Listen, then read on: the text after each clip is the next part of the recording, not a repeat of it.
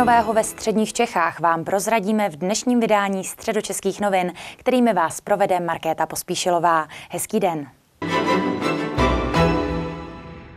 Středočeský vozový park se dočká modernizace. Některé dnes už muzejní kousky nahradí moderní klimatizované nízkopodlažní vlaky RS1 Stadler a Regio Panther. S těmi se cestující svezou už příští rok. Už teď se ale lidé na svých cestách mohou setkat s nově nasazenými vlaky Regio Fox. Středočeský kraj obnovuje železniční vozový park. Zažívá tak jednu z nejvýraznějších změn v regionální vlakové dopravě za poslední roky. Zatím ve zkušebním provozu je na kolejích nová souprava českých drah Regiofox. Ta bude sloužit na neelektrifikovaných tratích a nahradí tak dosluhující regionovy. Rozdíl pozná úplně každý. Nejenom v barvičkách, ale i v tom, že to je bezbariérové, klimatizované, máte tam Wi-Fi, prostor pro kočárky, prostor pro kola a celkově ta kultura cestování na jiné úplně úrovni. Nových souprav Regiofoxů nakoupí dopravce zatím 8,70 a zaplatí za ně téměř 7 miliard korun. Dosud totiž regionální středočeské tratě připomínají spíše železniční muzeum. Tam najdete ještě vlaky 810 ze 70. let, pak z 90. lety regionově a z nultých let. No a my chceme, aby do roku 2026 všechny tyto vozy byly nahrazeny zánovními nebo novými vozy Nové Regiofoxy teď lidé mohou potkávat na dvou tratích mezi Rakovníkem, Berounem a Rudnou. Nasazených je zatím 10 souprav. Do konce léta jich ve středních Čechách bude jezdit dalších pět. Všech 24 plánují české dráhy nasadit do čtyř let a brázdit budou například i Příbramsko. No a potom eh, to budou vozy eh, RS1 Stadler, což jsou zase nízkopodlažní jednotky, klimatizované jednotky, tak jak jsou prostě standard 21. století a to bude nasazeno v průběhu těch příštích třech let. Během příštího roku by pak také mělo vyjet 24 nových regiopanterů. Budou jezdit na trati Ústí nad Labem, Kralupy Praha nebo jenom Kralupy Praha, Litoměřice Kralupy Praha a potom druhá trať na který najdete, bude Praha Kolín Kutná hora. V příštím roce se pak cestující svezou i soupravami RS1. To jsou vlastně takové ty lokálky, jako je na Kralupy, na Velvary, eh, potom na eh, posázavském Pacifiku a podobně. Středočeský kraj plánuje také vypsat železniční soutěž na komplet nové elektrické jednotky EMU 400 což laicky je o třetinu nebo o čtvrtinu větší vlak než je současný City Elephant, které bude jezdit po hlavních koridorech. Aktuálně pak středočeský kraj dokončuje také podpisy smluv se všemi autobusovými dopravci. Ty autobusy budou klimatizované s informačními systémy, nízkopodlažní, takže pro cestující zlepšení a ještě zaplatíme o 20% méně. A to je úspora zhruba 400 milionů korun ročně, které vedení středočeského kraje plánuje investovat právě do modernizace železnice. Kristýna Svobodová, Televize Praha. Ve středočeském kraji se chystá digitální revoluce. Připravuje se totiž nový geoportál, který by měl poskytnout kompletní informační servis o silnicích druhých a třetích tříd, včetně všech mostů. Z geoportálu pak budou moci čerpat jak řidiči, tak správci silnic i třeba organizátoři veřejné dopravy.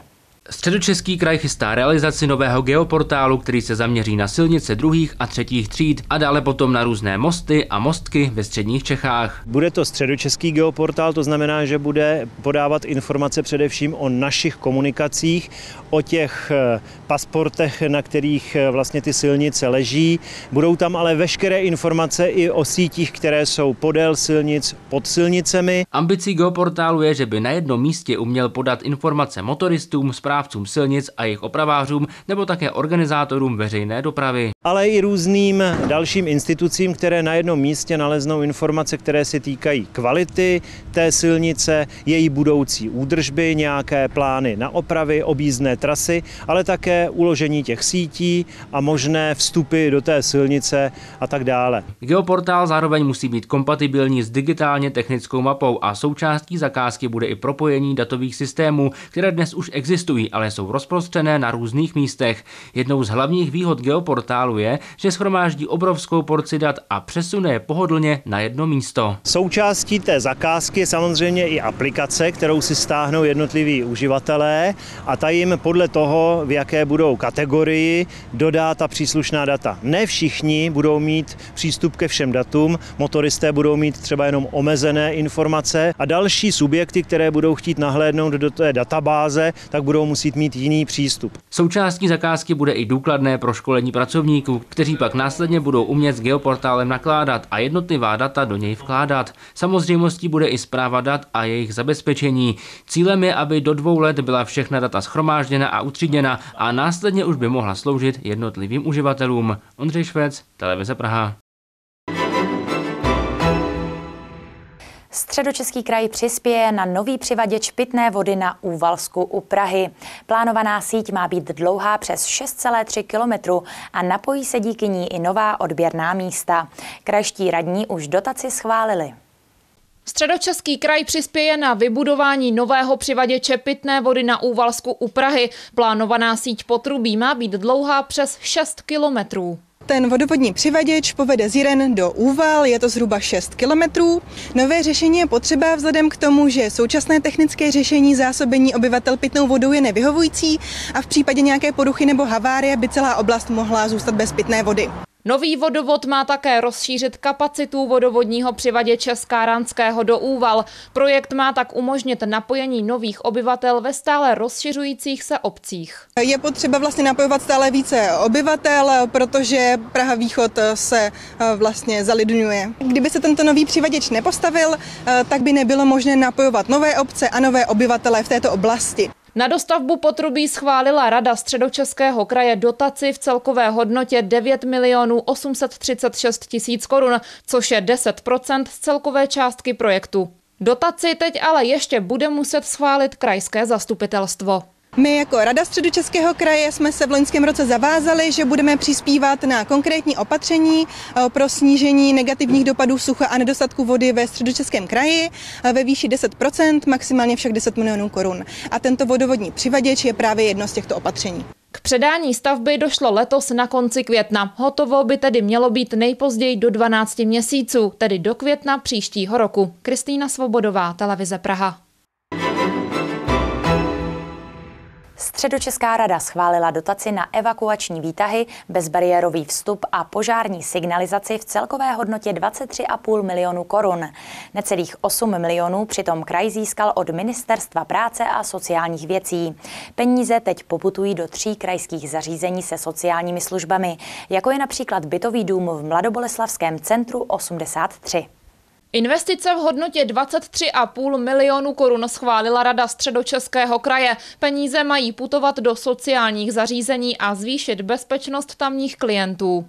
Část investic, konkrétně asi 9,3 milionů, jde do elektronické eh, požární signalizace a dalších 14,2 milionů jde do třech našich krajských zařízení, kde budeme vybudovávat evakuační výtahy. To se týká i domova pro osoby se zdravotním postižením v Mladoboleslavském centru 83, kde aktuálně žije 15 lidí.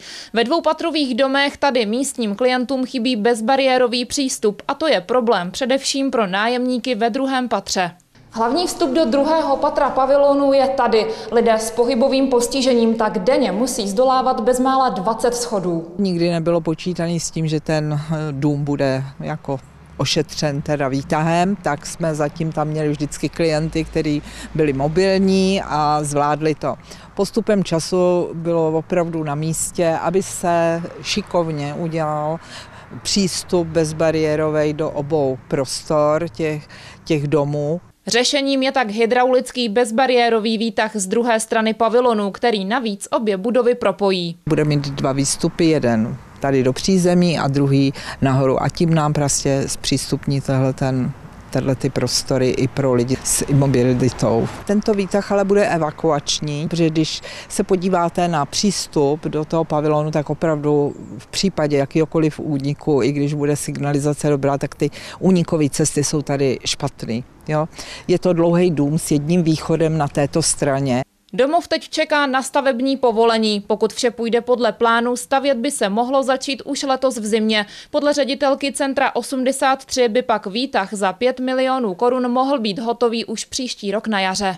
Další zařízení, v kterých budeme budovat eh, evakuační výtahy, tak je zařízení ve Velvarech, domov seniorů eh, a také domov u Anešky v Luštěnicích. Radní pak také odsouhlasili výběr dodavatele požární signalizace a její instalaci v domě pod Lipami ve Smečně. Zakázka vyjde na 9,3 milionů korun. Kristýna Svobodová, televize Praha.